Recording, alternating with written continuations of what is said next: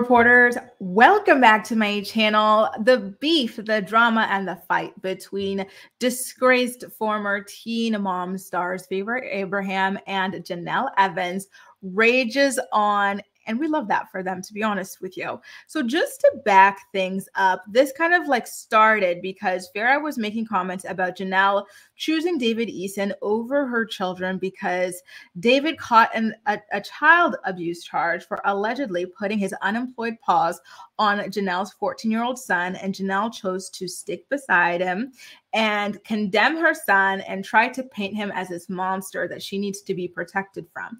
And I actually felt like Farrah was well within reason to say, listen, girl, like, that's not very motherly. That's very weird. You should be choosing your kids over your men. Um, protect your kid, right?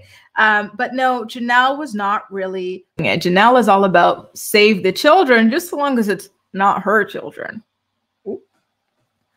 Oh, so um, take a look at some of the back and forth that went down on Instagram. For example, in Farrah's stories, she said CPS is so Jenelle Evans when someone threatened to call CPS on her. And she says haters are very confused. And then Jenelle caught wind of this, decided to head on over to her own Instagram and write, someone do a welfare check on Farrah Abraham's daughter. Her mom seems very unstable in her online videos, which is quite interesting because um, both she and Farrah do the pretty much the same thing online, um, with the exception of one thing, which is that Jenelle goes online to try to incite hatred against her son and to claim that he is a dangerous and unstable individual. I think that that is um, a lot worse than what it is that Farrah does.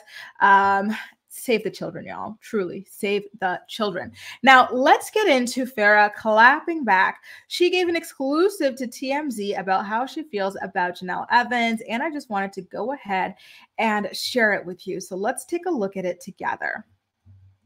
I am not shading Jenelle, but I think when teen mom fans or haters still get confused of where I am at in my life, um, and there's other teen moms that have CPS issues like Jenelle presently, I think we need to just leave some of that CPS messy stuff out of my family and my dating dynamic. That definitely upsets me. Um, and I work very hard to be the best single parent um, that I could ever be. And I can't say the same for others in their dating lives and the men that they choose to date who seem to be abusive. I'm not welcoming that in my life at all. Boom. Shots fired. She said she wasn't shading Jenelle, but then she went ahead and emptied the entire clip on Jenelle's ass. And I love it. Good for you, Farrah. Again, I feel so ashamed of myself for cheering for Farrah Abraham in anything, but here I am doing it twice. You guys already saw me in the initial video that I made about the two of them having their dispute. And here I am doing it again. She's right. Jenelle is with someone who has been accused several times of abusing her children. She's lost custody of these kids twice twice because of this man, and both times she has chosen this man over her children. And this man has also been exposed for going behind her back, trashing her to his ex wife, telling his ex wife that he wants to use Jenelle's money to buy her gifts because y'all know that man does not have any money of his own. Ooh. Um, and she is Jenelle is still standing by his side. Like self-esteem in the god darn gutter. Maybe even under the gutter. I just i don't know what the hell this is how a person can accept this you know? Um but listen J- jenelle for you jenelle.